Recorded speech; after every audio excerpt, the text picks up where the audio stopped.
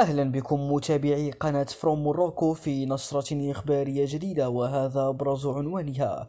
انهيار قناطر حديثة البناء يستنفر مراقبي الداخلية. ويدخل آلاف السكان ضواحي سطات في جحيم العزلة والرعب.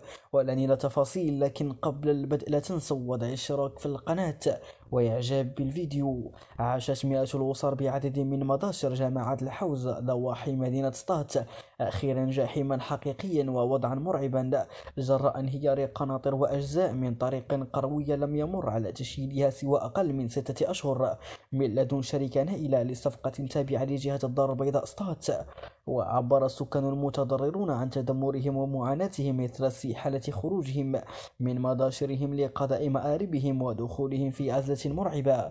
بسبب انهيار قنطرة شيدت على مستوى دوار الدراغمة بجماعة الحوازة فقط من التراب حسب تصريحاتهم لوسائل الإعلام وذلك مباشرة بعد تساقط الأمطار الأخيرة. وحسب مصادر محلية فقد عاشت المنطقة حالة من الذعر والخوف استنفرت مصالح وزارة الداخلية مراقبيها حيث حلت لجنة مختلطة تابعة لجهة الدار البيضاء صاحبة الصفقة.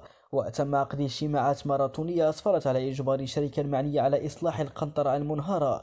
وتتخوف الأسر المتضررة من عدم التزام شركة صاحبة الاختلالات التي طالت الطريق للمرة الثانية بالمعايير التقنية لتشييد القناطر التي تمر عبرها المسالك الطرقية القروية خاصة وأن هذه الطريق تعتبر المنفذ الوحيد لهذه المداشر نحو الطريق الوطنية ونحو مدارس والمستشفيات والأسواق.